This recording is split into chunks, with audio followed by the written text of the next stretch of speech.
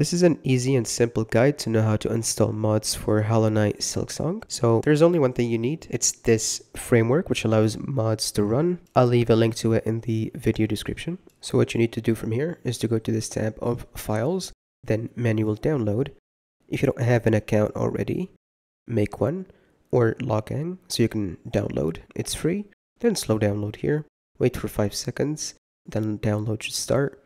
Go ahead to the download directory open this archive file and these are going to be the files we need and now we're going to move them to where the game is installed for us. If you have the game on Steam, it's going to be in the following directory. C drive, program files 86, Steam,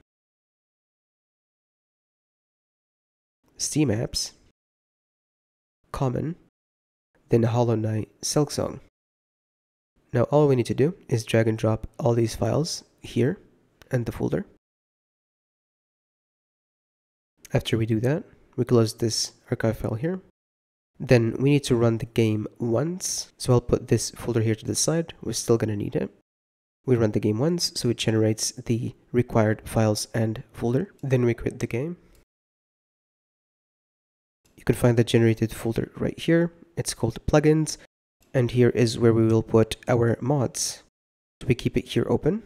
And we go to where we can find the mods for this game. I will use Nexus mods. Just scroll down here. I'll use this as an example. I'll sort by popular. Then I'll use this mod, always compass. So it always shows the compass without having to equip it. Make sure to always read the mod description. It may have extra steps, but most of the time it's just one plugin DLL file. So we go ahead to the files, then we download it. Slow download again, and then we open it and it's going to be just a single DLL file. We drag it and drop it here.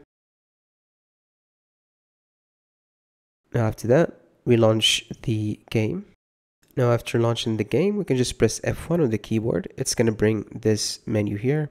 It's going to show us all the mods we have. And if the mod you're using has extra features or settings, you can adjust them there. If it's a simple one, just like the one I'm using here, it's just going to work straight away. You don't have to click on F1 or adjust anything. As you can see here, the mod works. The compass works even though I unequipped it. So that's the purpose of this mod. So hope this video helped you out and peace out.